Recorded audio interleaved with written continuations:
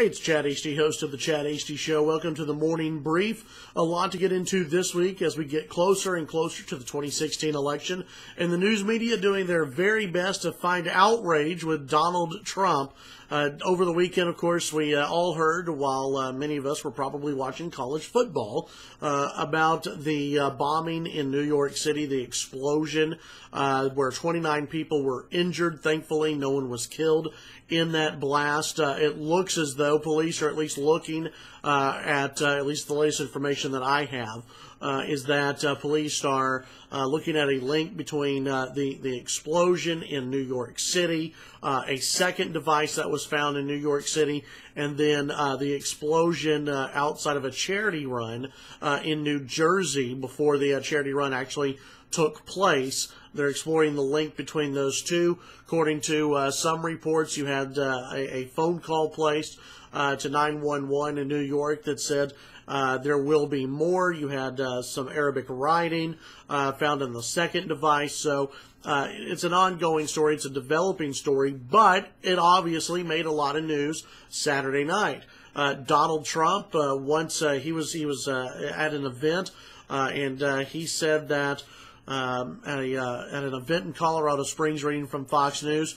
Just before I got off the plane, a bomb went off in New York. Nobody knows what's going on. Trump, the Republican presidential nominee, said during a rally in Colorado Springs. Well, uh, that made a lot of journalists upset because the police had not officially called it a bomb, even though if you were to scour social media and see what different people had to say, Everyone else was calling it a bomb. Everyone else was calling it an IED. They were uh, saying that this was an explosion, that this was not a, a you know a gas-related event, uh, that this was an intentional act. Donald Trump gets off his plane. He's at a rally. Says, yeah, he's been uh, informed of what's going on. And by the way, let's remember this: that many times uh, the government, whether they be the police, feds, whatever, they will know if it's a bomb uh, before the news media talks about that. Okay? So it's very possible that Donald Trump was given this information before the news media was. It's very possible that that happened. Well, uh, so Donald Trump does that, and you have uh, some folks who, uh, who who are out journalists who are slamming Donald Trump for saying it was a bomb.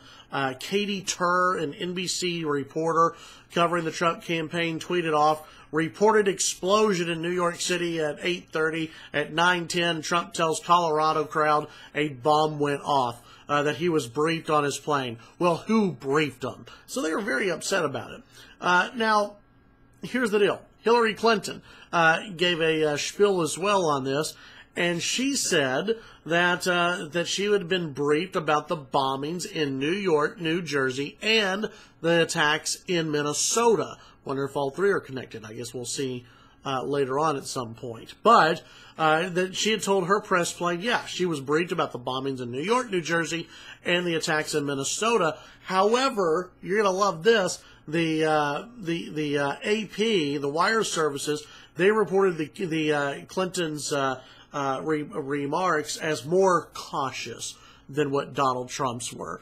Uh, listen, folks, you're going to see a lot of this. We all know about the bias, uh, the anti-Republican, anti-Trump bias that's out there from the media. Uh, you're going to see a lot more of this as we move towards the first debate, as we move closer to election day, as Trump has expanded the electoral map for himself as he has done well in the polls. The media now freaking out that a Trump presidency could happen, uh, so they're taking any shot they can at Donald Trump. They did so last week with the whole birther issue, which nobody outside of the media really gives a damn about, uh, and now they're going after Trump because he called the bombings a bombing when the police had not officially labeled it that yet. Hmm, guess what? Everybody else was. Uh, so you're going to see a lot of faux outrage from the media. They're going to try to hammer Trump on this. Uh, but let's be honest, Trump was right uh, on this when he called it a bombing. It was.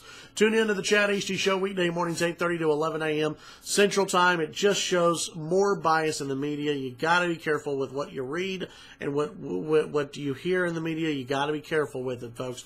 Do a little bit of your own research. Go through, find different sources when you see any of this stuff, uh, especially as we get closer to the election. Follow me on Twitter, Chad Hasty Radio. Have a great day. We'll talk to you on the radio from 8.30 to 11.